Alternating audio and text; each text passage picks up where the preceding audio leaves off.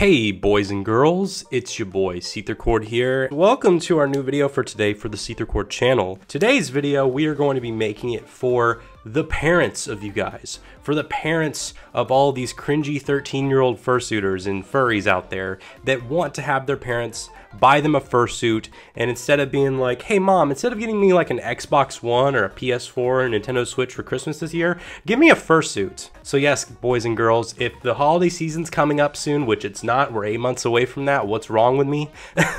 Get your parents to come here right now and watch this video, sit down, get a bowl of popcorn, get yourself a nice ice cold glass of Clorox, and let's just get into this video of how you parents can get your child, son or daughter or whatever they want to be referred to as, their own unique fursuit. Let's begin, shall we?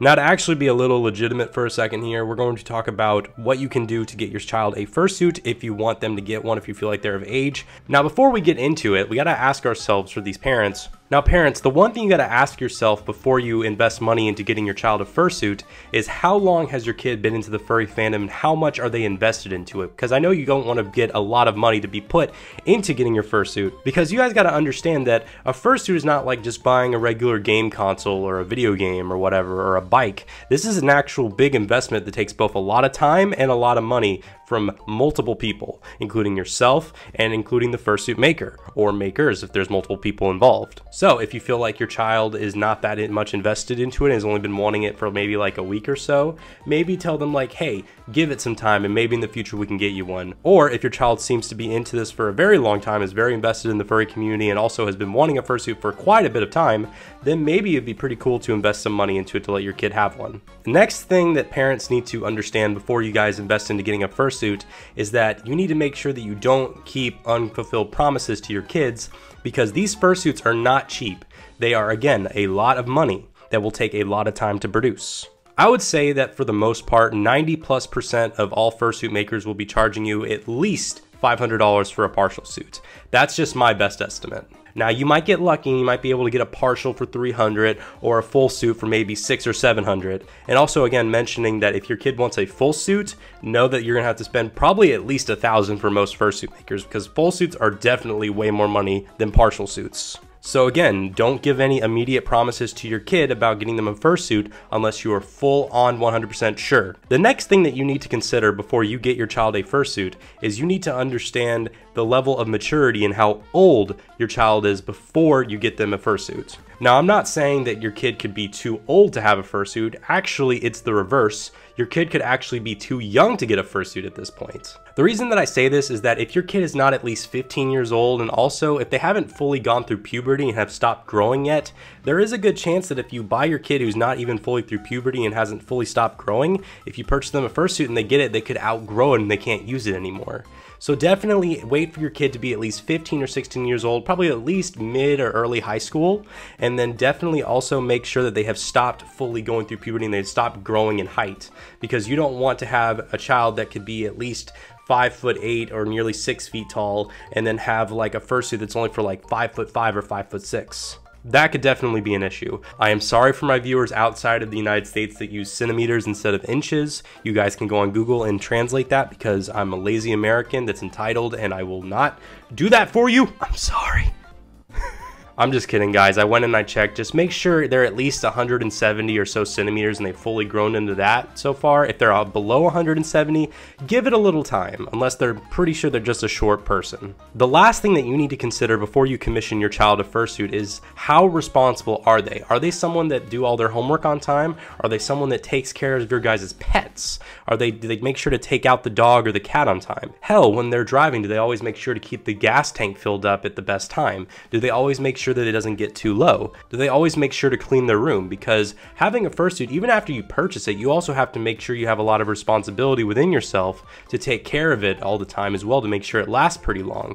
You got to make sure that they comb the fur. You got to make sure that they clean the fursuit. You got to make sure that they keep it in a sealed tight container to keep it from having bacteria build up on it over time. Because if you buy them a fursuit and they don't take good care of it, you could see it only lasting maybe one or two years. But if they take really good care of it, it can make it up to four and possibly even five years with still looking pretty good. I myself did a neutral kind of thing with taking care of it. I didn't do so well near the end of it, so it only lasted about three years before it started looking old. It looks kind of old now. Not horrible, but it is a little bit old because I took average care of it. So do what I did to an extent, but boost it up even more in taking care of it, and you should be good to go. Think of owning a fursuit as having a pet rock, because it's something I guess you kind of have to take care of, but you kind of don't if you want it to look good. This is a horrible analogy. I'm going to stop right there. So, if your child has passed all the reasonable criteria when it comes to being capable of taking care of a fursuit after commissioning and putting a lot of money into it, you got to ask yourself, how do I get this fursuit? Who do I commission? What kind of fursuit do I get my child? I would say that if this is going to be your child's first fursuit, get them a partial suit or at least maybe just start off with the head because if you get a full body suit, you're gonna have to invest even double as money or as much, or at least 1.5 times to two times as much money for the said fursuit. You also got to consider that if you get them a partial suit and it turns out they don't really use the fursuit as much or they didn't like it in the end, you wouldn't have to feel like you wasted twice as much money on a full suit. But if you got them a partial suit and it turns out they liked it a lot, then they could invest into getting a full on new full suit, or they could just expand off their partial suit and turn it into a full suit. Saves money, you know? The next thing you have to be aware of when you go online to look for fursuit makers, be cautious with who you commission. Watch out for artist bewares. Make sure that you can check past commissioners who commissioned said fursuit maker to see if they did a good job with communicating, a good job with payment, and did a good job with updates and getting the fursuit shipped to them, because that is a major and important aspect when it comes to picking who I want to choose to make my fursuit for me.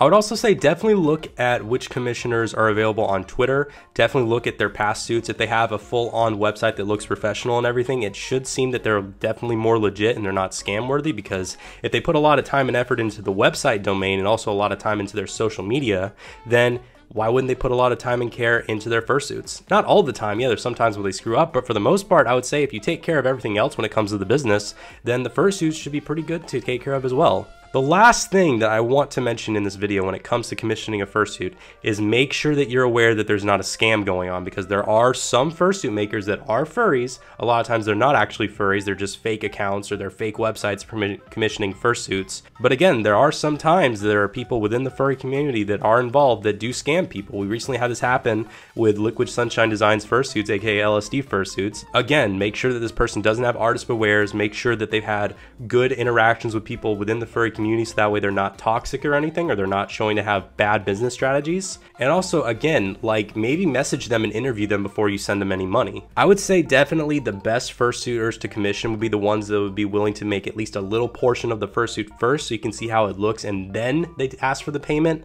instead of having to pay first for them to get started on anything. That to me is a more trustworthy and safe commissioner to get to. That to me is a more trustworthy and safe fursuit maker to me at least than most others. But that's just personally me. This is all just my own take and advice. You don't have to follow if you don't want to, but I feel like my advice is at least decent for you guys. And that pretty much wraps up my video today on parents buying fursuits for their children. How do you guys feel about my advice? Do you guys feel like I gave good advice? Do you guys feel like I gave bad advice? Is there any advice that I missed out on that you wanted to add to this video? Let me know down in the comment section down below.